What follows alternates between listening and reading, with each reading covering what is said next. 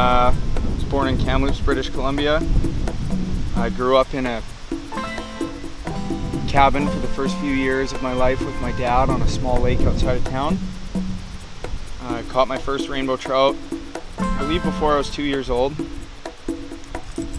Uh, he spent quite a few years in the hunting business and I spent a lot of years hunting with him.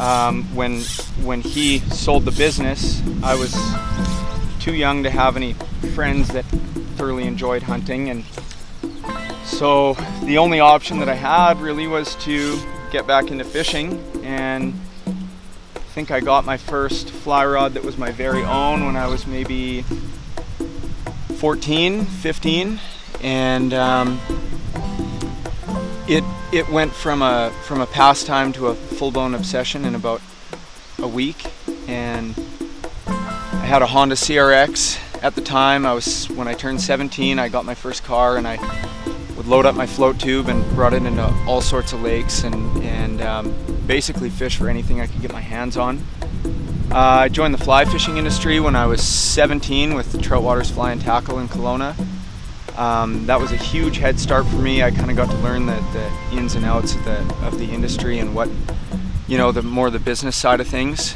And um, you know, it's uh, I think that there's enough passion behind it that I don't know why or how I could ever leave it. Um, it's you know, fly fishing has brought me to places all around the world. I mean, I, I wake up in the morning and, and the hamster wheel is turning, and, and I, all I can think about um, you know, is is what's next. Um, eventually, it, it became time to start my own venture, so I founded Interior Fly Fishing Company out of Kamloops, BC. My wife and I moved back there uh, last spring, and um, it's incredibly rewarding. It's it's great to bring people to an area like this, bring people to places like Douglas Lake Ranch, bring people to all the lakes that we have in Region Three.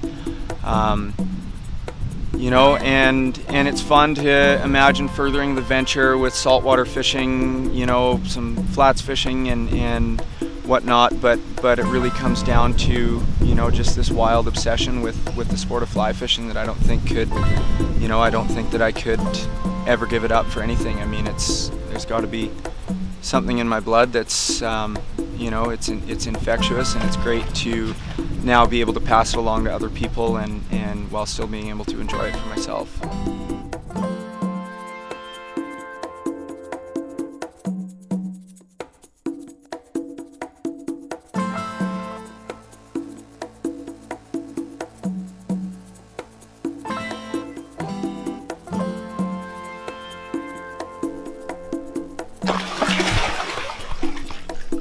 Oh! That was sick.